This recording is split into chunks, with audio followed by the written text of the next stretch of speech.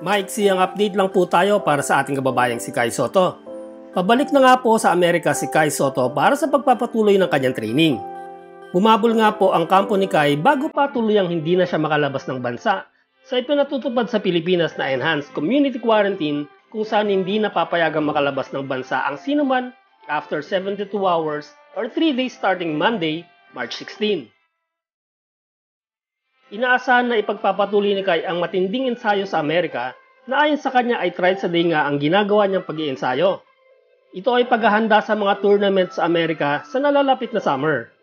Malaki nga ang maitutulong ng mga trainings na ito sa pagiging handa ni Kai sa mga summer tournaments kung saan makikipagtagisan na naman ang ating pambato sa naggagalingan ng mga batang prospects at players sa Amerika.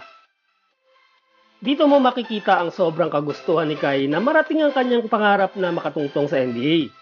Gaya ng maraming players ay may mga kailangan pang i-improve si Kai at ang kagandahan sa ating pambato ay aware sila dito at ginagawa nila ito ng paraan sa pamamagitan ng matinding ensayo. So hanggang dito na lang po ang ating mixing update para kay Kai Soto.